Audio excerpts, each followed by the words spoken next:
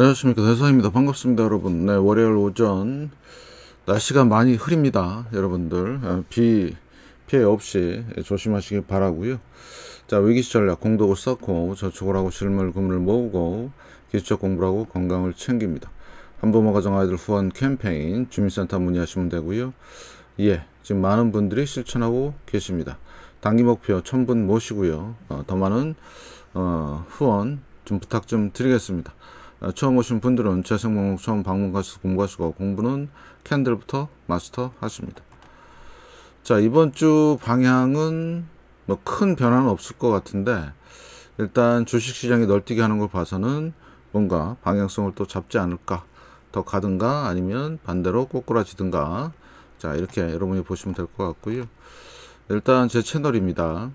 네, 제가 토요일날 요거 리먼급 폭락에 대한 영상을 올려드렸는데 예, 호불호가 갈리네요. 많은 분들이 봐주셨고 그렇지만 이거는 제 예상입니다. 이렇게 간다가 아니고 예, 기술적 분석을 해봤을 때 아, 이렇게 될 확률이 높다는 거지 뭐 이렇게 간다는 게 아니고요.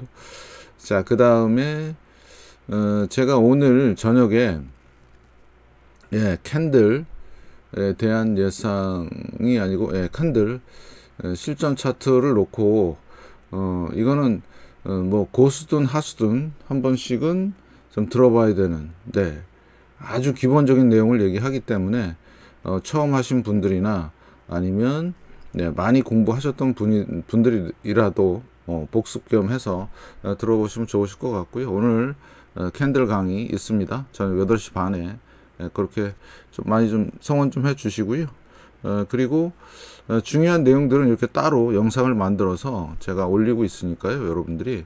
이런 거는 이제 긴급 라이브죠. 음, 그래서 CPI에 대해서 좀, 어, 좀 설명을 드렸고 어, 그래서 앞으로 여러분들 어, 상황이 녹록치가 않습니다. 에, 그거에 대한 판단은 여러분이 하시겠지만 에, 그걸 좀 도움을 좀 드리고자 하니까 여러분들 많은 에, 시청 좀 부탁 좀 드리고요. 자, 다음 금융 뉴스에 국제경제 보시면 네. 자, 미국은 연착륙을 원한다. 과연 될까? 예, 여러 가지 있고요. 자, 중국이 이제 거의 끝까지 왔습니다. 경기 부양 올인 2개월간 30억 위안 소비 국금 뿌린다. 이게 막바지예요, 막바지. 그래서 여러분들 그 블랙스완 아시죠? 그 중에 하나가 중국 부동산 문제가 있습니다. 예, 근데 알려진 거기 때문에 블랙스완일까요? 예, 아무튼 잘 좀 보시고요. 그 다음에 미국 서비스업 인력난인데 아마존 마이크로소프트는 어, 감원을 지금 강력하게 하고 있다. 자, 이런데 차관을 좀 하고요. 그 다음에 이제 해외 증시에서 볼 거는 이번 주에 이제 소매 판매하고 FM, FMC 의사로 어, 이런 거 여러분들이 꼭 어, 체크를 좀 하셔야 되겠습니다. 현재 유로 상황은 어, 지금 일봉인데요. 네, 지난주 금요일 날 음봉 만들고 지금 이렇게 예, 음봉에 지금 상황이 되고 있다. 그래서 어, 요 지금 상 요 반등이 예, 일시적이지 않을까라는 생각을 해보고 유로가 이렇게 까인다는 얘기는 네 상당히 앞으로 안 좋을 것이다 예고하는 거니까 잘 좀 판단하시고요. 그 다음에 호주 달러 마찬가지입니다. 자 일봉에서 지금 더 이상 상승을 못하고 있죠. 자 앞으로 요 흐름 그래서 어, EM 네, MSCI 이머징 마켓 그 다음에 자, 코스피도 마찬가지죠. 똑같은 흐름을 보였어요. 그래서 호주 달러를 보면 어, 이머징 시장과 아, 코스피의 흐름을 알 수가 있다. 그래서 거의 반등 고점에 와 있는 거 아닌가 이런 생각을 좀 해보고요. 지금 현재 음봉으로 시작하고 있습니다. 자, 그 다음에 이제 어, 지난 네, 우드 네, 부동산 시장이죠. 반등이 세게 나왔죠. 예, 상당히 세게 나왔고 어, 주봉에 보셔도 예, 여기 있는 음봉의 어, 하, 하방 여기, 여기까지 이제 갭까지 메우면서 올라왔는데 자 과연 이게 음, 추세적으로 다시 올라갈까? 자 주봉에서는 현재 48 RSI가 보시고 월봉에서는 51 살짝 반등이 세게 나온 상황이고요. 그 다음에 DR 호튼 마찬가지죠? 음. 자그 다음에 어, 홈디포 예, 마찬가지입니다. 그러면 자 이게 일시적인 반등이냐 아니면 추세적으로 올라가는 거냐 지금 기로에 있는 겁니다 예 음봉이 세게 나왔고 반등 음, 자 이런 상황들 체크하시고 자 럼버도 어 우드는 통나무고요 럼버는 판입니다 판때기 그래서 얘도 딱 들어왔죠. 저점. 음. 그래서 어, 요거에 대한 하락에 대한 되돌림인지 아니면 추세적인 상승인지는 좀 더 지켜보시자.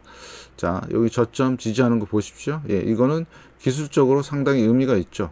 그래서 상당폭 올라갈 걸로 보이고 있는데 RSI 값 보니까 한계가 좀 있을 것 같다. 그래서 여기 고점까지 한 710달러까지 좀 보시면 될 것 같고요. 예, 추세적으로 계속 올라가기는 좀 힘들지 않나. 예, 왜냐하면 지금 하락 추세이기 때문에 그렇다. 자, 다우 부동산, 자, 주봉이고요. 고점, 저점 50%더 돌렸습니다. 예, 그래서 월봉을 보시면 얘도 세게 올라온 상황이죠. 아, 요거는 다우 지수랑 거의 비슷하게 움직이기 때문에 자, 이때가 아, 리먼 사태죠. 자, 내려오다 반등 주고 내려오다 반등 주고 급락을 하는 이런 상황이 연출이 됐고 마찬가지 내려오다 반등 주고 내려오다 반등 주고 두 번째죠. 그래서 어, 조금 더 올라갈지 아니면 네 아, 여기서 이제 멈추고 내려올지는 네 앞으로 시장 상황에 따른 어, 그런 어, 방향성을 볼 수 있겠습니다. 네, 잘 좀 판단하시고요. 자, 그 다음에 요거 중요하죠. 하일드 정크 본드. 자, 얘는 어, 여기 네 작년 9월 네 8월 9월 고점으로 해서 지금 쭉 내려왔죠. 그죠? 그래서 반등이 38% 근처 세지가 않습니다. 네, 보시고 지금 여기 종가 상황은 팬데믹 상황 근처까지 와 있어요.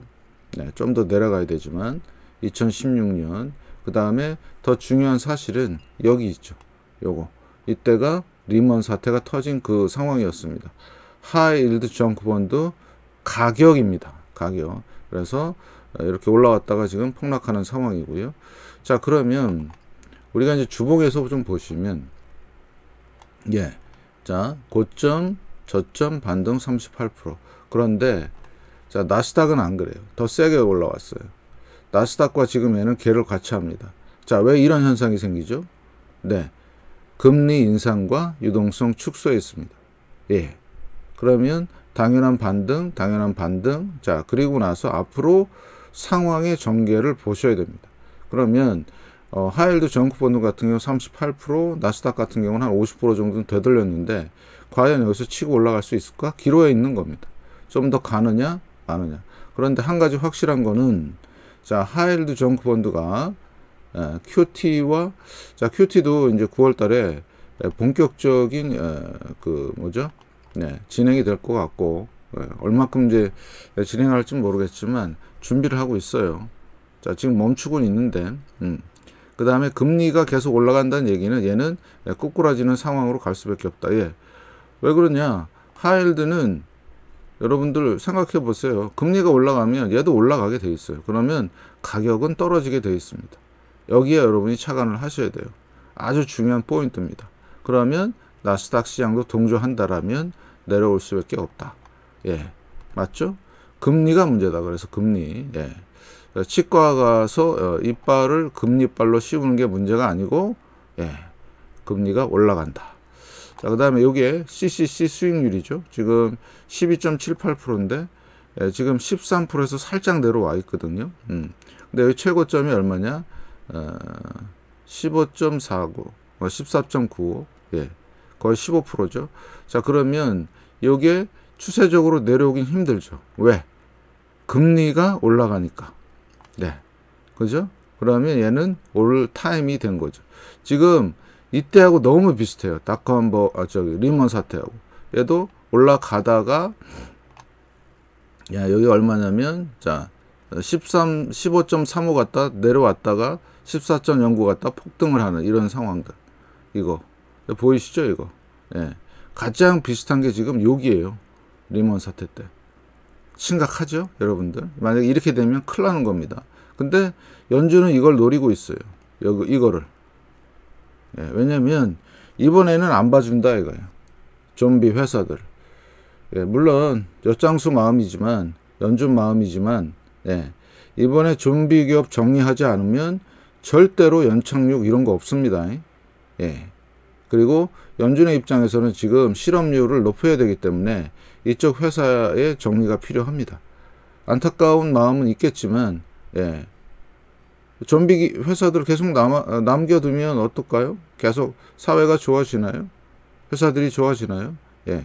지금 나스닥도 그래서 일부 회사들, S&P 500들도 일부 회사들에 의해서 버티고 있는 거지 실질적인 상승은 아니다 이거죠. 잘 보시고요. 자, 그 다음에 국채 10년물 보시면 얘는 이 3에서 2.5 왔다 갔다 할 것이다. 거기에 따른 그래서 만약에 네, 10년물이 예, 여기 2.5를 붕괴하는 상황이 생기면 물론 연준이 뭐 가만 어, 두고 보진 않겠지만 음, 그래서 10년물 금리가 되게 중요하다. 아주 복합적으로 지금 작동이 되고 있는 거예요. 그래서 자 국채 자 10년물 보시면 자 어때요? 여기서 지금 일단 계속 공방을 벌이고 있습니다. 예. 자 그래서 요때 상황이 예, 어느 때 예, 닷컴 버블 때 상황과 너무 똑같다. 자 요것도 유념하시고요. 그 다음에 국채 30년물 마찬가지 얘도 여기서 왔다리 갔다리 하고 있다. 그래서 어, 지금 일단 저점을 유지하고 있고요. 저점에서 올라가는 상황. 그래서 어, 제가 항상 말씀을 드린 이제는 국채는 예, 엄청난 하락 이후에 반등을 모색하고 있다. 가격. 음.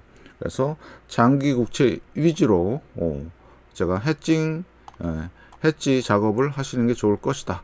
왜? 지금 예, 기술적으로도 봐도 앞으로 올라갈 상황이 예, 연출이 될 것이다. 급하게는 올라 안 올라갈 거예요. 여기 보시면. 네. 자, 2000년 닷컴 버블 때도 아주 서서히 올라가죠. 서서히. 그죠? 네.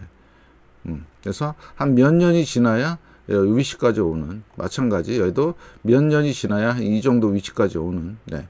그런 상황이 연출이 될 것이다. 잘 좀 보시고요. 자, 그 다음에 이제 유가를 보시면, 네, 유가는 자, 의외의 모습을 보이고 있다. 현재 91달러지만 여기 지금 쌍바닥을 만들고 있어요. 이거 진짜 주의하셔야 됩니다. 예. 음. 여기 바닥을 딱 다지고 지금 안 빠지고 이러고 있습니다. 자, 이거는 뭘 얘기를 하냐? 앞으로 어, 물가에 대한 인플레이션에 대한 하나의 경고가 될 수 있습니다. 여러분 요거 잘 생각하시고 앞으로 흐름 잘 보시고요. 네. 그래서 만약에 자, 85달러 여기 여기가 고점이죠. 여기가 85달러거든요. 네. 그래서 추세적으로 내려올 듯한 모습이지만 주봉에서는 지금은 바닥을 또 다지는 모습이다. 그 전에도 그랬어요. 여기서도 그랬고, 여기서도 그랬고, 여기서도 그랬고. 그죠? 네. 그래서 급하게 올라갈 수도 있으니까 지금 그리고 앞으로 이제 어, 더위가 이제 완전히 꺾이고 찬바람 살살 불고 어, 그렇게 되면 또 이것도 하나의 아, 또 물가에 대한 트리거가 될 수가 있습니다. 주의하셔야 됩니다. 변수가 너무 많아요. 잘 좀 보시고요. 자, 그 다음에 요거는 어, 제가 말씀을 드린 네, 무브. 자, 채권 변동성 지수입니다. 자, 이번에 네, 채권 변동성 지수가 144까지 갔다가 네, 여기는 어, 리먼 사태 때죠. 네. 여기는 얼마? 214까지 갔다가 내려왔고요. 네. 지금 얘도 어, 그러면 올라갈 거냐 말 거냐 이제 그 와중에 있는 거죠. 음. 그래서 이것도 중요한 팔로우 해야 되는 지표 중에 하나가 됩니다. 자, 채권의 변동성은 크게 커지진 않을 것 같아요. 그죠? 어, 그런데 모르죠. 어, 회사채, 그죠? 어, 라든가 이런 쪽에 또 변동성이 커지면 올라갈 수도 있으니까 아, 중요한 체크 포인트가 되겠고요. 아, 106에서 계속 머물고 있습니다. 잘좀 보시고 아, 현재 예, 지수 선물 상황이고요. 음, 지금 약보합으로 지금 시작을 하, 어, 고 있고요. 자 그러면 자, 나스닥 지금 상황을 보시면 나스닥 선물은 일단은 38% 50% 사이에 있는데 자 상방 제가 말씀을 드릴게요. 어, 13,934, 14,000까지 열어놓으시고 좀더 가면 여기까지 14,600. 자 이게 왜 중요하냐면 이 하락에 대한 반등이죠. 네. 그 다음에 자 여기 여기까지도 열어 놓으시고 그러면 어 이거는 여기까지는 보셔야 된다 이거죠. 14,600까지는 왜? 예, 되돌림 비율입니다. 예, 그리고 나서 어떻게 되느냐? 예, 갔다가 내려오는 이런 시나리오. 아니면 어, 요즘 일부에서 주장하는 예, 대세 상승으로의 전환. 예, 여러 가지 상황이 이제 겹치게 되는 거죠. 그래서 지금은 8월 달은 상당히 중요한, 그 다음에 9월 달도 중요하고요. 9월 말에 예, 연준의 FOMC가 있죠. 네, 거기 전후로 해서 변동성이 커질 확률이 높습니다. 자, 그러면 자 상승이냐 하락이냐가 중요한 게 아니라 연준에서 금리를 계속해서 연속적으로 올리느냐가 중요한 거예요.